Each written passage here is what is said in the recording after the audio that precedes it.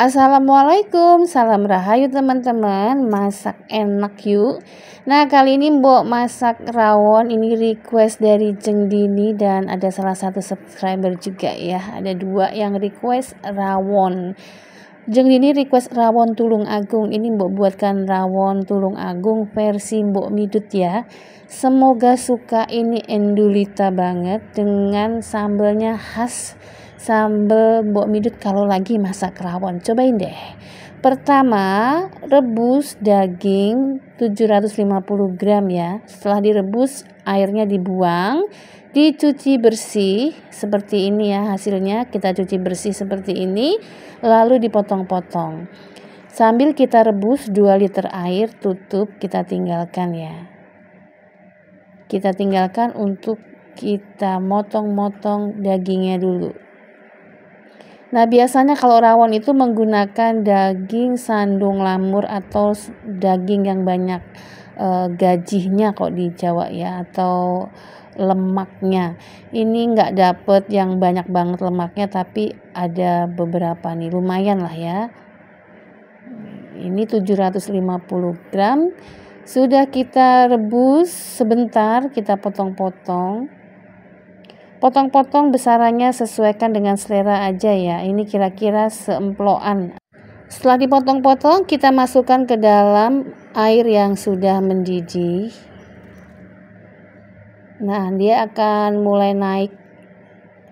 Ini kita saring yang bagian atasnya seperti ini ya. Konon ini katanya si kotorannya. Apa iya ya? Jangan-jangan ini bagian enaknya, tapi kita buang aja ya, cari aman. Lalu tambahkan 5 lembar daun salam, 7 lembar daun jeruk, 2 batang serai yang sudah digeprek dan 5 ibu jari lengkuas geprek. Didihkan sampai empuk kira-kira 45 menit.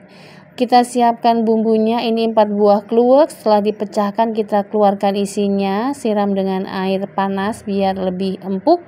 Setelah itu mari siapkan. Masukkan satu jari kunyit, satu ibu jari jahe, tujuh butir kemiri, lima siung bawang putih, lima siung bawang merah, dan masukkan satu ibu jari kencur serta kluweknya. Kita haluskan. Nah, kali ini Mbok menghaluskannya menggunakan OmniBlade BL100. Ini adalah food processor dengan 4 tingkat mata pisau. High-end food processor. Ini canggih banget. Nah, ini halus ya. Langsung panaskan sedikit minyak, masukkan 7 siung bawang merah, kita goreng ya. Bawang merah irisnya sampai 90% mateng. Nah ini penting banget supaya nanti masakannya tuh sedap enak nagih. Kita goreng dulu setelah warnanya kuning kecoklatan.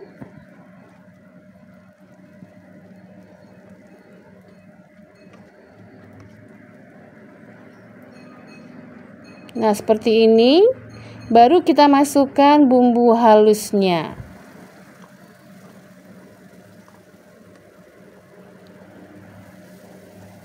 Kita tumis.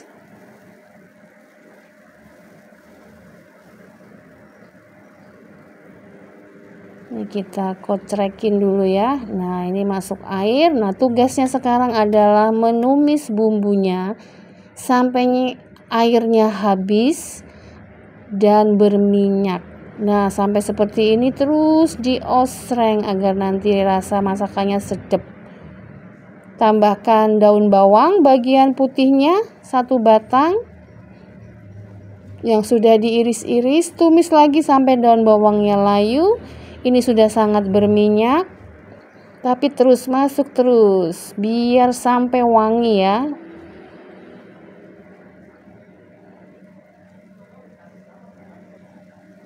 Nah, ini lihat nih, sudah berminyak kita osreng sebentar lagi ya. Ini penting banget nih supaya tidak langu nanti ya. Sudah blebek-blebek airnya makin habis makin berminyak. Ini agak lama ya membuat berminyak seperti ini. Ini videonya dicepetin. Ini saya tambahkan satu sendok teh garam diaduk lagi. Makin lama makin menyusut dan berminyak matikan kompornya lalu nah ini kita masukkan bumbunya ke dalam daging yang mendidih. Kita tambahkan air ya supaya kembali menjadi 2 liter. Ini kan berkurang tuh airnya kira-kira berkurangnya hampir separuh ya.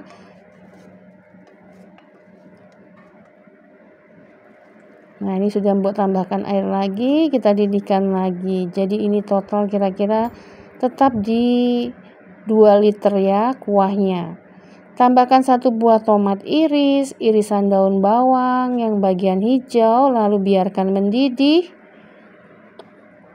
Supaya medok rasanya kita tutup lagi, kita didihkan lagi selama kurang lebih 15 menit. Nah, ya akhirnya seperti ini, aromanya sedap banget. Kita tambahkan penyedap lagi. 2 sendok teh garam, seperempat sendok teh micin dan gula. Biar rasanya jadul ya. Ini gulanya pakai gula aren atau gula merah 2 sendok makan. Masuk satu sendok dulu satu sendoknya nanti ya di akhir. Kita biarkan mendidih kita aduk-aduk jangan lupa dites rasa terlebih dahulu kita masukkan satu sendok makan lagi gulanya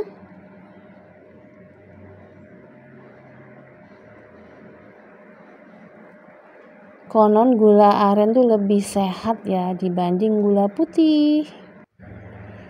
Nah, kita akan tes dulu dagingnya. Penting banget dagingnya tuh harus empuk. Nah, sudah empuk ya, gampang ditusuknya. Coba nih kita urai dulu. Nah, udah empuk banget, tapi jangan hancur juga ya. Yes, eh lompat. Taburi dengan bawang goreng dan daun bawang. Kita sisihkan dulu ya. Kita akan membuat sambelnya. Nah, sambal ala Mbok Midut ini ya 15 buah cabai rawit dan setengah sendok teh terasi. Ini kalau saya masak rawon begini sambelnya biar mengimbangi rasa rawonnya ya, biar wendes. Kita ulek. Nah, karena terasi sudah membawa rasa gurih, dan asin ini tidak perlu tambahan bahan lain ya kita ulek saja sampai halus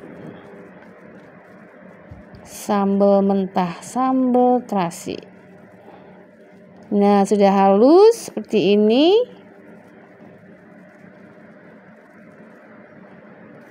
kita sisihkan Nah, ini terutama kalau rawonnya mau langsung dimakan dadakan ya. Pakai sambal mentah begini lebih jos. Nah, ini adalah pendamping rawon. Mari kita racik ya. Toge kecambah atau toge kecil. Langsung deh siram dengan rawon yang mendidih atau panas pol nih uh mantap. Taburi daun bawang iris bawang merah goreng dan telur asin. Nah dan sambal terasi. Ini mbok biasa santap dengan perasan jeruk limau ya biar lebih berkesan rasanya udah gini aja tuh beneran ini enak pakai banget semoga yang request cocok ya kita aduk-aduk dan mari kita santap dengan nasi putih panas. Bu. Wih, jos. Teman-teman, demikian resep kali ini. Selamat masak enak untuk keluarga. Salam kuliner Nusantara. Endes Rendes Mak News.